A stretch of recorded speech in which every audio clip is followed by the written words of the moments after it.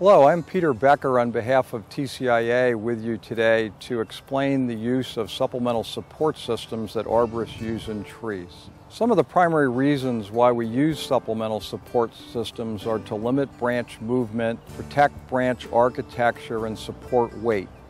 There are mainly four different types of supplemental support systems that an arborist uses in tree care. One of the common ones that we generally use would be cabling of branch parts or leaders. This typically is done where there's a codominant branch that might be weak or split and the supplemental support system is installed in the tree and the branch parts. Another common one that we use is bracing of trees. Bracing generally is used where a fracture occurs in the stem or a branch and there's braces that are done with hardware into the stem and the wood of the tree. Another common one is guying of trees, which typically is done for new transplants or trees that might be partially uprooted.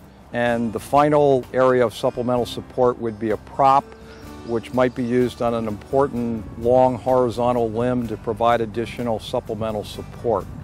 Most of these systems are installed with specifications that the arborist develops with the client and periodically those systems should be inspected as the arborist works with their client on their property.